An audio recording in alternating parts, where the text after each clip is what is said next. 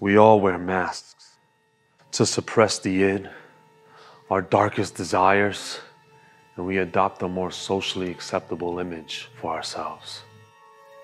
But my mask of sanity slipped a long time ago. So I wonder why it is that you still wear yours. Are you ashamed of the face that hides behind this mask? Afraid that without this, the world will know that you're just another poor little fat kid from the Bronx? Or do you wear this to tame the beast that lies behind it? Why? Are you afraid of what you're truly capable of? So scared that you found someone to guide you, to lead you. The same man who was going to abandon you on Sunday because he'd rather father his child than be by your side the same way you were for his.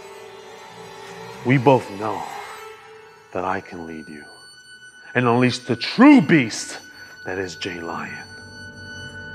Unfortunately, I don't think that you're a cold blooded killer like I am. But I'm gonna give you a chance to prove me wrong. In front of the greatest luchadors, I want you to put your mask on the line. And if you win, I'll leave House of Glory. For real this time. But just know, a lion is only king of the jungle until I come along and hang your head on my wall.